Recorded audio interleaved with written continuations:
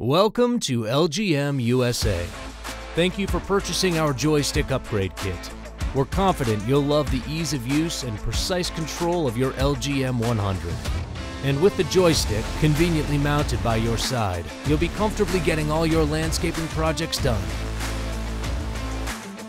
We're excited to walk you through the installation process. If you need any support, we are here to help. Before we start, let's look at what's included in your joystick kit. Hire a professional if you don't feel comfortable doing any of this work. Gather all the tools listed on the screen.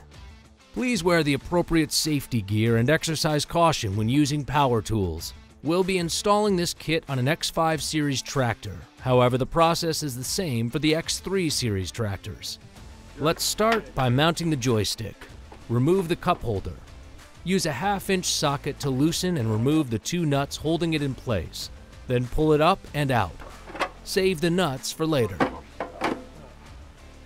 Use the gray mounting template as a guide to drill the three screw holes with a 7 32nd inch drill bit. And don't worry, the cup holder is the only part of your tractor we will be modifying. Replacement cup holders can be purchased later from your John Deere dealership if needed.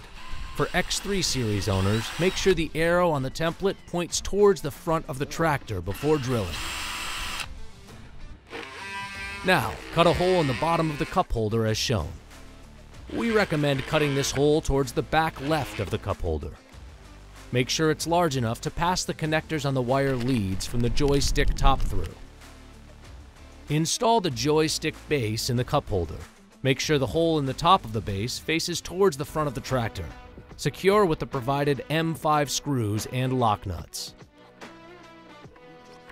Next, feed the connectors from the joystick top down and through the hole you cut. Attach the joystick top to the base by aligning the tabs with the grooves on the base. Twist the top into place and secure it using the provided M3 hex screw. Now, put the cup holder back on your tractor using the original hardware. Nicely done. Your joystick is mounted. Let's move on to installing the control box. This is where the magic happens. It controls the LGM 100 based on what commands you send with the joystick. Open the hood of your tractor. Locate the two holes shown and install the provided U-nuts. Attach the mounting bracket using the quarter inch screws. Do not over Slide the control box into the bracket. Secure it in place with four M5 screws. Mount the power distribution unit using the quarter inch bolts.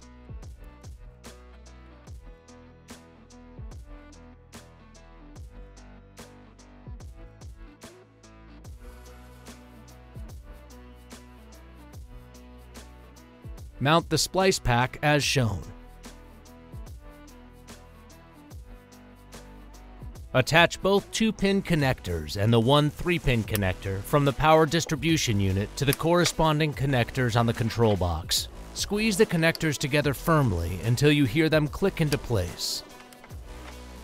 Use the provided hardware to mount the auxiliary relay as shown.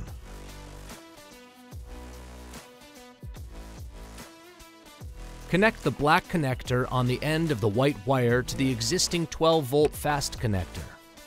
Next, feed the two extension cables down through the engine bay, under the tractor, and up through the rear wheel well. Be mindful of the orientation. Route these cables to avoid any moving parts and be careful not to cut the cables on any sharp edges. Attach the extension cables to the corresponding connectors on both ends. Zip tie the extension cables out of the way of contacting the tires or any other moving parts. Double check these cables and connectors will not be rubbing against anything moving.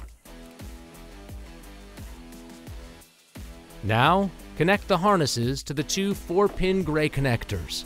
If you have not already installed these harnesses, please reference our LGM 100 installation video for how to route them.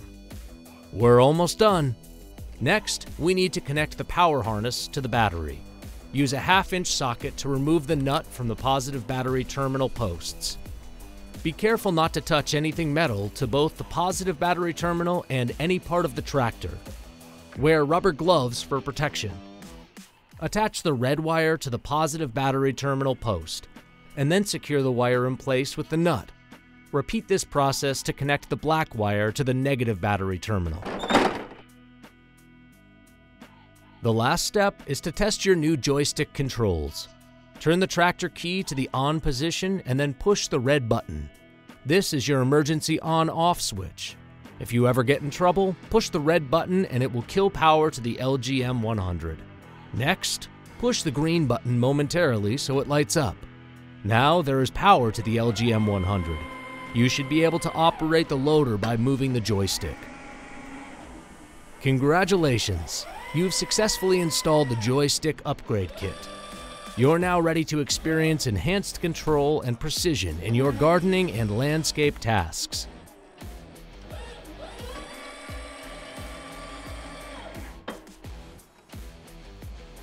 Thank you for choosing LGM USA. We're here to support you every step of the way, so don't hesitate to reach out if you have any questions or need further assistance.